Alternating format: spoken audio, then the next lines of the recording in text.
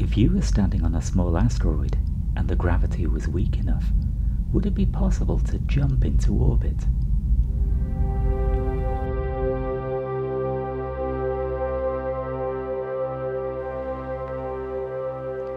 Well, I am standing on a small asteroid. The gravity here is very weak indeed. So let's give it a go.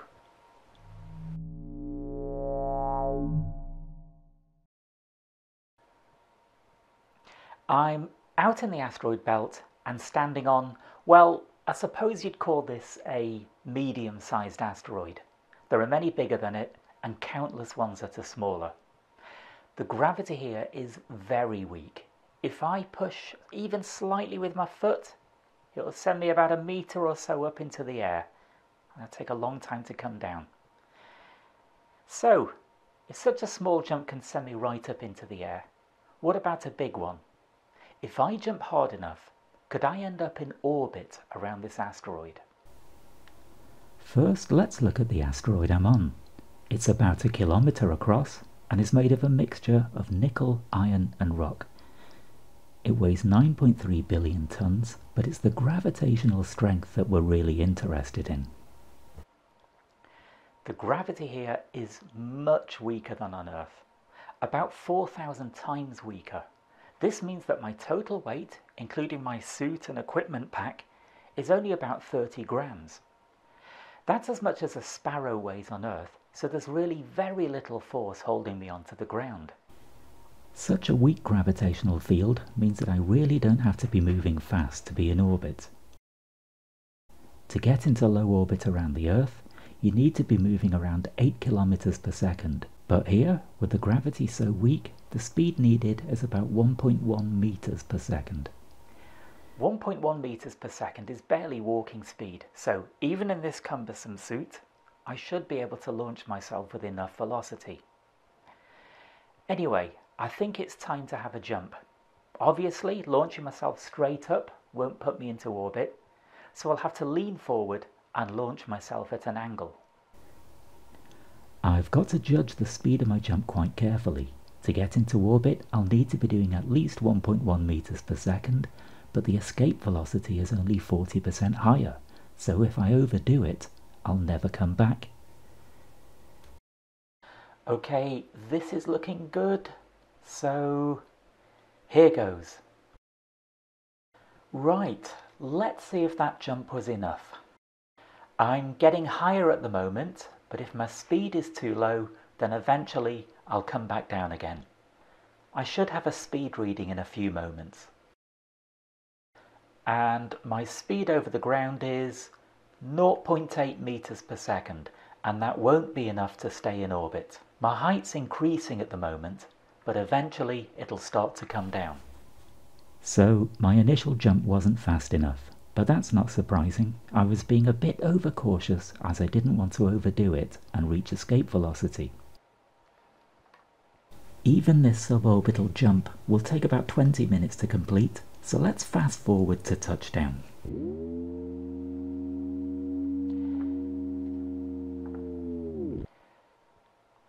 Well, I've been descending for some time now, and I can see the point where I think I'm going to touch down. I say touchdown, land on my face more like. I've rotated a bit during my jump, so this isn't going to be a graceful landing. I'm just going to face plant. Okay, so that didn't work, but I knew that from the start. I just wasn't going fast enough. Let's have another go, and this time jump a bit harder. Right, let's try that again, and this time I'm going to use a bit more force. I was a bit too careful last time. Also, my last launch was a bit too steep, so I'll try and make this one a bit more horizontal. I've moved to the edge of this rock to give my feet a bit more grip. Okay, I'll lean forward and get ready to launch. In this super low gravity, leaning forward takes some time. As well as launching at a lower angle, I'll try and make it a faster jump. Any speed below 1.1 meters per second is bound to fail. Nearly there, and blast off. Okay, that feels a bit faster. I should have a speed reading in a few moments. And here it is, 1.21 meters per second. And that's just about perfect. That's above the minimum speed needed to orbit, but not so high I'll escape altogether. My angle was pretty good too, very close to horizontal. And from ground level, it looks like I'm already in orbit, but time will tell whether I really am. I'm heading towards high ground, but since my launch site was itself on a high point, I should be okay. At this speed, it'll take about 40 minutes to complete a full orbit, so let's fast forward to the halfway point.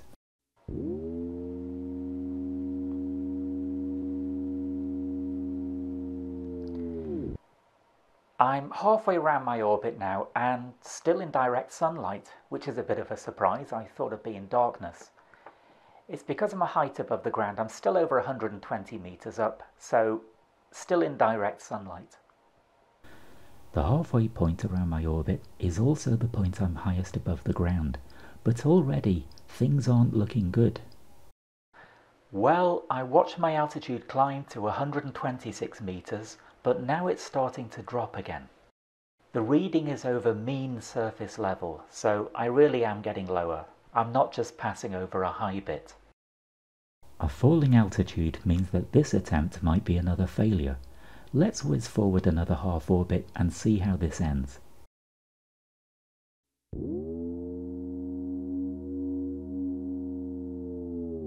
I've gone most of the way around my orbit now, in fact, I can see my start point, but I'm clearly heading towards the ground.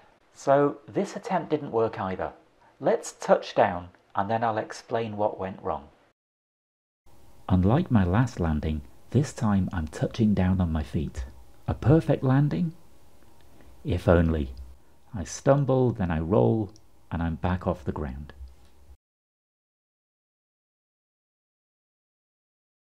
Okay, let's pretend that didn't happen. So, that attempt didn't work either. But why? My launch speed was perfect. If I'd launched any harder, I'd have escaped orbit completely. So why did I end up back on the ground? It's because of the way orbits work. As soon as my feet left the ground, I was in an elliptical orbit around the asteroid's center of mass that would keep going round and round until I bumped into something. And that's the problem. Because I launched from the ground, my orbit would eventually bring me back into the ground.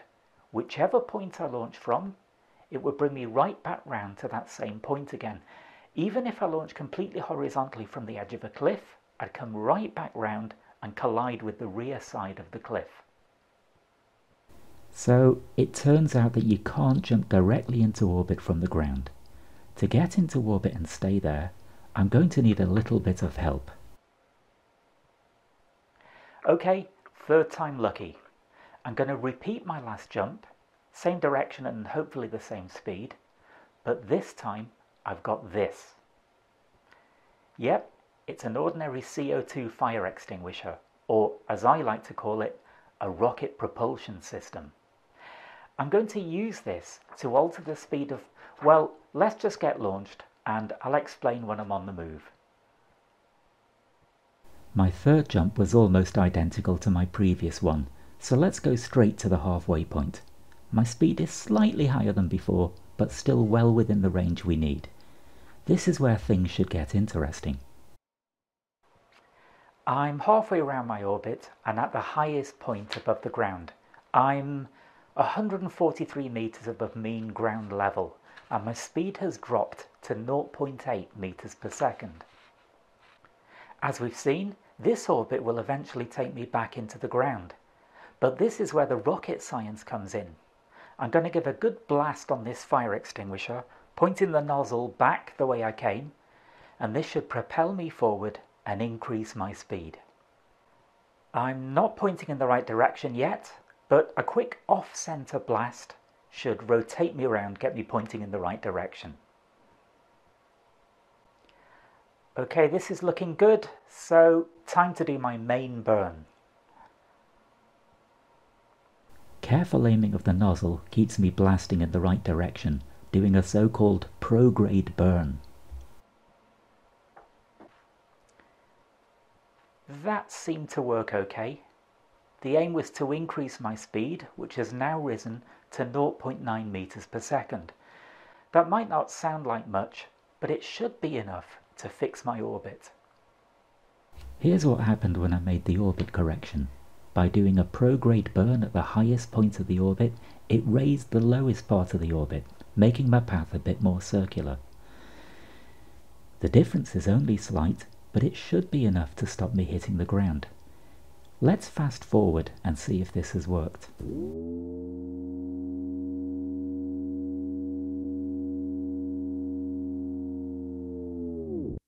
I'm approaching the lowest part of my orbit, or periapsis to use the technical term, and my speed has increased to 1.22 meters per second, so this is the moment of truth.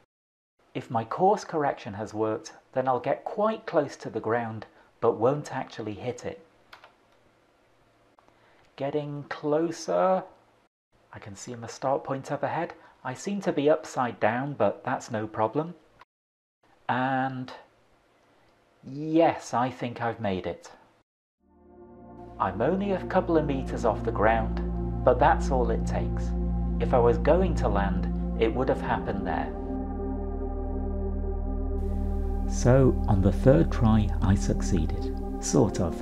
It wasn't quite the result I originally wanted, a single jump into orbit, but this is as close as we can get.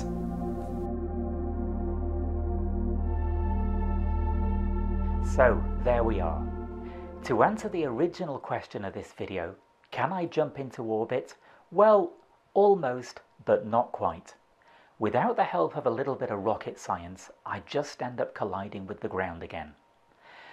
But now there's a new question on my mind. About three kilometers away, there's another small asteroid. It's actually in orbit around this one. So the question is, can I jump from this asteroid across to that one.